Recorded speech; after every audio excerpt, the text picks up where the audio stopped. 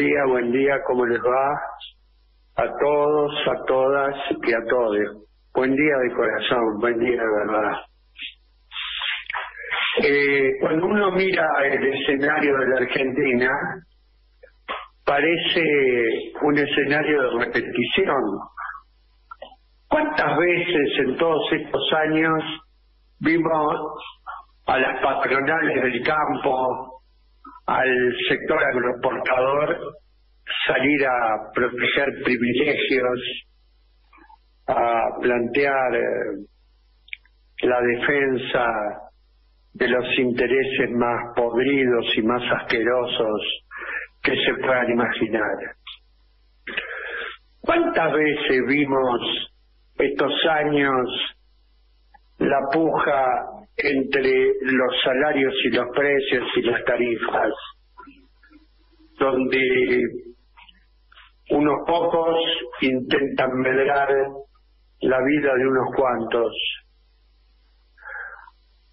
¿Cuántas veces vimos a los sectores oligopólicos en el escenario cotidiano utilizar los medios de comunicación para instalar la sárrima defensa de, sus intereses tan alejados a los intereses del conjunto del pueblo.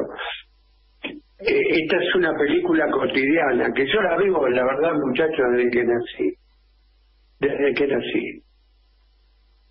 Eso se llama lucha de clases. Ah, vos sos marxista. No, no soy marxista, trato de ser idiota en la sociedad permanentemente hay lucha de clases, lucha de clases.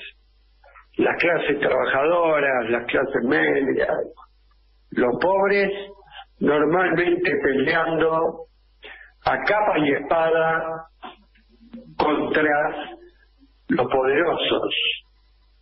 Esto es así desde que el hombre es hombre. Y cuando digo hombre, lo digo en sentido genérico, en sentido abarcativo. Eh, bueno, hoy asistimos a un nuevo capítulo de esto, con sus trapisondas, su juego sucio. ¿Se acuerdan que yo en diciembre les dije que este año iba a ser el año que iban a meter presa a Cristina Fernández de Kirchner y la iban a tratar de sacar de la cancha política para todos los tiempos. Tomen nota.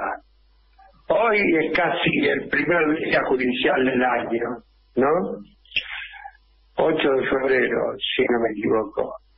Y, y ahí están Cristina sentada en el banquito de la causa de vialidad una causa traída de los pelos, amañada, mentirosa. La estrategia de la derecha es judicializar a Cristina, condenarla, intentar sacarla de la cancha, ponerla como la ladrona, ¿no? Y del otro lado están ellos. Yo ayer medio en broma y medio en serio decía, ¿quiénes son ellos, no? Don Gato y su pandilla. Don Gato y su pandilla.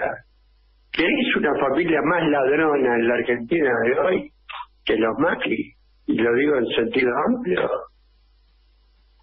Lo que hicieron, arrancando por el viejo de Macri, uno de los principales recaudadores del almirante Macera, bueno, esos tipos sientan a una mujer intachable como Cristina en el banquillo de los acusados, en el banquillo de lo propio de la historia. Eso va a ser lo que nos espera todo este año. Yo me alegro que ayer Alberto Fernández haya salido a decir en las redes y en la prensa que él considera a Milagro Sala la presa por antonomasia de el en la Argentina. ¡Wow! Por primera vez escuché decir loafer. Después de que aquella vez la Plaza de Mayo dijera, nunca más loafer, nunca más loafer. Bueno, parece que se despegó rapidito de masa, este masa que niega el loafer, que niega los presos políticos y que veladamente trata a Cristina de corrupta. Bueno, arrinconado, masita que es hoy. ¿A qué lo saben, queridos oyentes, oyentas de todo el país? ¿A qué no saben? Hoy es tapa de Clarín, masita es tapa de Clarín, porque eh, el Robin Hood, Sergio Massa, sale a la cancha para derogar el impuesto a las ganancias aquellos sueldos y jubilaciones que estén por debajo de los 150 mil pesos. No sé si me entendés. Él se apropia de algo que todas las centrales sindicales hace 15 años que vienen que vienen reclamando. ¿Cuántas veces lo escuchamos a Moyano, a Yasky, al Cachorro, este, hablar sobre esto y pedir reiteradamente que se quita el impuesto al trabajo? Un pícaro que se cree que es vivo. Bienvenido sea el proyecto, ¿eh? Pero yo no le creo, a mí me le doy la mano y me dice, me llamo Sergio Massa y yo le digo, dame los documentos. No le creo nada a este personaje que lo pintó muy bien O'Donnell en su libro Argel Leaks, con sus más de 100 cables de la embajada norteamericana describiéndolo como un aliado incondicional de ellos un chupamedia en la embajada. Básicamente es esto. El tipo arrinconado, producto de su pésima política, bueno, hoy aparece en la escena haciendo este tipo de cuestión. Me impresionó mucho una propuesta que está haciendo eh, el compañero Máximo Kirchner, una propuesta que está, está buena, en la cual se plantea unificar las elecciones el mismo día, las generales y las paso. Es una excelente idea. Si eso pasara, si eso pasara, el frente de todos tendría que transformarse en una especie de frente amplio uruguayo, por lo menos desde el punto de vista de la metodología de elección de candidatos. A ver, claro, podríamos hacer una interna con 15 listas y que todas sumen a un mismo a un mismo candidato general. Sería extraordinario, significaría ahorro de recursos y democratizaría la discusión en la fuerza. ¿no? Este, creo que sería una maravillosa idea. Ahora, esta puja que hay con el campo, la puja que hay con los precios, los salarios, las jubilaciones, las pensiones, esa puja no se resuelve con buenos modales, no se resuelve en los sillones del poder. Si se va a resolver en favor de los trabajadores, de los pobres, de nuestros viejos, el látigo en mano, muchachos. Látigo en mano. El mercado argentino, los dueños del poder, los dueños de la riqueza, que no entienden que en este momento tiene que haber una fuerte socialización de los recursos, ¿eh? redistribución de la riqueza y redistribución de los recursos. Son dos cosas distintas, pero hay que hacer las dos. Me permito ampliar con todo respeto la propuesta de Amado. Amado dice tiene que haber redistribución. Yo comparto de los recursos y de la riqueza. Y eso tiene que llegar a todos lados.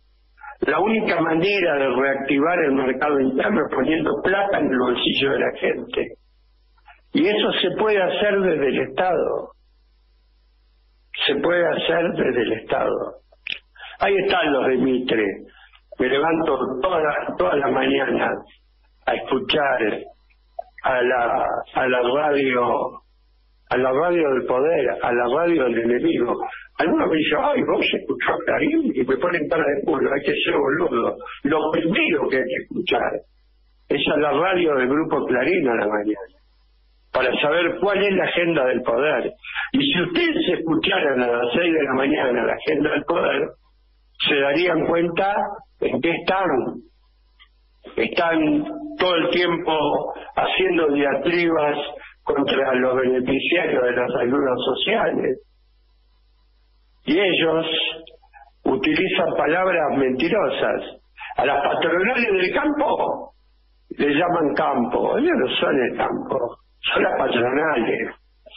La verdad, muy lejos están de haber agarrado una pala alguna vez en su vida. Ellos son eso. Ahí están con su diatriba permanente. Por lo tanto, coincido con Amado, redistribución de los recursos del Estado Nacional y de la riqueza de los argentinos. Hay que ir sobre los ricos y hay que ir con todo, muchachos. Ayer Mario Negri, presidente del bloque de la UCR, salió a decir que no se metan con el campo, porque cuando se metieron con el campo explotó el país por los aires. Con mucho orgullo, Negri, te digo, no solo no explotó el país, sino que paramos el golpe a Agrogarca y gobernamos siete años más después de eso. Y no fuimos, si querés, producto de nuestros propios errores. Nunca producto de los errores de ustedes.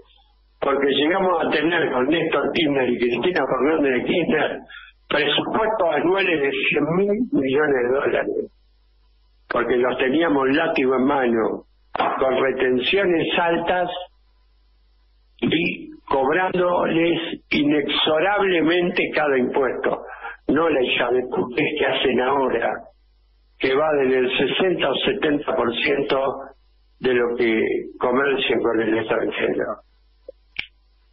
Así que muchachos, son muchas las tareas, muchos los frentes, muchas las disputas.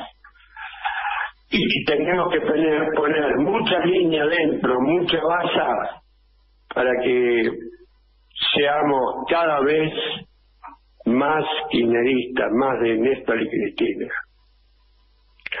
Que tengan buen día, que pasen una buena jornada más allá de lo que indica el cielo que pronostica lluvias. Un gran abrazo para todos y todas.